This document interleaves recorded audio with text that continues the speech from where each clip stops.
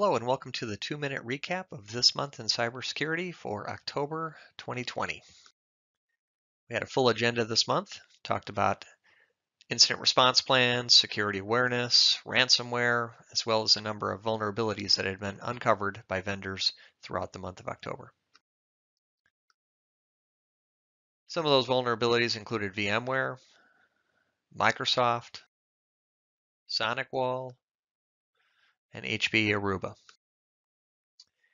We discussed in detail the timeline of a ransomware event that had occurred with vendors like Blackbaud, about when breaches had occurred, payoffs, notifications, disclosures, as well as uh, the eventual leaking of customer data.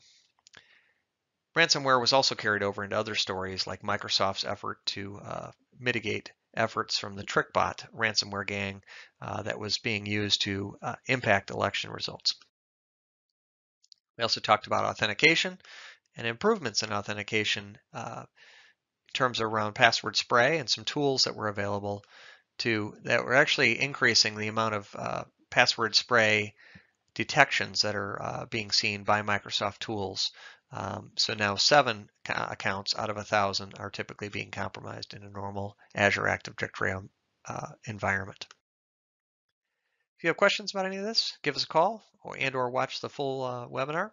Happy to uh, help you out if we can. Thank you.